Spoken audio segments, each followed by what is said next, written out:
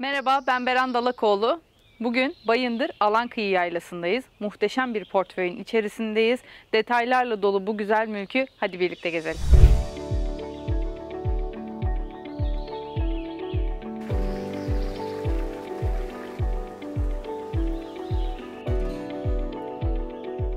Bayındır'ın muhteşem doğasıyla iç içe 1197 metrekare arsa alanına sahip mülkümüzün bahçe alanındaki koyu havuzu, açık yaz mutfağı, ateş tuğlası ve taş işçiliğiyle yapılmış pizza fırını ile karşılaştığımızda kendimizi bir masal diyarının kapılarını aralamış gibi hissediyoruz. Hiç zaman kaybetmeden 108 metrekarelik ana binamıza giriyoruz.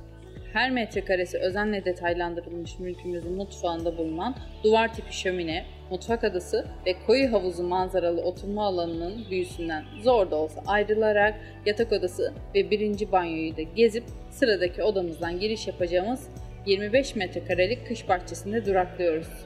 Bahçe manzarasının keyfini çıkartıyoruz. Detaylar çok. Hadi devam edelim. Merdivenle çıkacağımız küçük bir yatak alanının bulunan odamızı da gördükten sonra bahçe alanından da giriş yapabileceğimiz çamaşır odası ve ikinci banyomuz ile ana binamızı bitiriyoruz.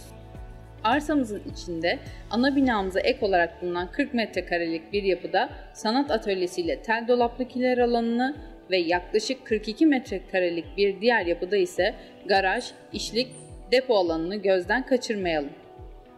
Ve sırada mülkümüzün en keyifli alanlarından biri olan bahçemiz var.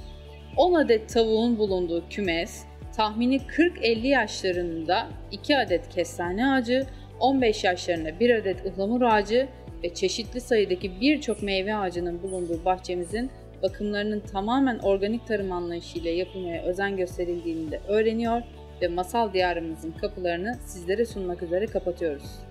Siz de kendinize bu özel mülk ile beraber huzuru ve değerli yaşamı armağan etmek isterseniz bizimle iletişime geçebilirsiniz.